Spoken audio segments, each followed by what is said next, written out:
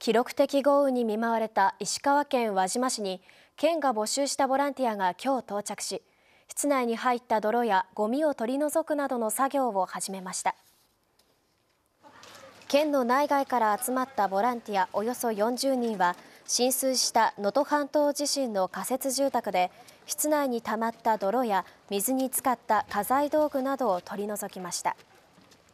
今回の豪雨によって輪島市では5カ所の仮設住宅団地で床上浸水が発生しました。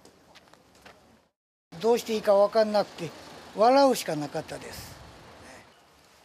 石川県によりますと今回の豪雨でこれまでに輪島市と珠洲市で7人が亡くなったほか5人の安否が分からなくなっています